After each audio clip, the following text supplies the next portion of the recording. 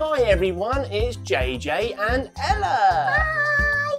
Have you ever wondered what happens if you don't wash your hands properly?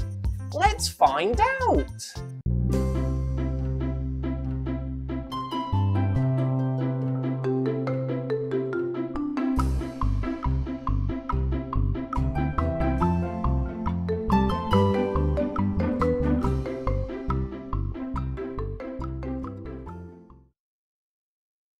So, what we're going to look at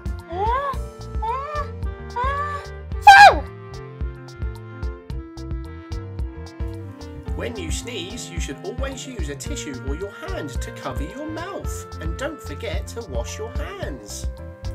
So, after that, Ella, what I was saying is that we're going to do an experiment today.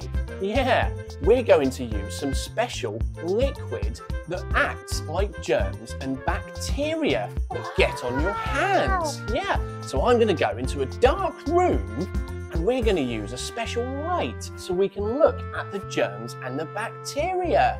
Let's get straight to it. Okay, so now we're in the dark room, let's take a look at what those germs look like under the UV light. wow, that's crazy! So now I'm going to wash my hands really quickly as if I was in a rush. So now that I've washed my hands for about 10 seconds, let's take a look at what's happened. Wow! So as you can see, there are still quite a few germs on my hands, which means I haven't washed them as well as I was supposed to. So what I did next was I went and grabbed a delicious looking apple to see if I was going to eat it.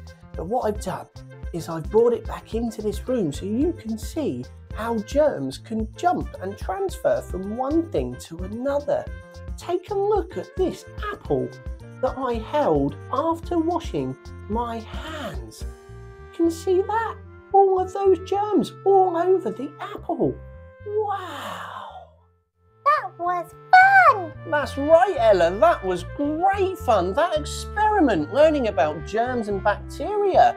Now, if you want to know how to wash your hands properly, check out our next video where we'll be learning about just that. Yeah.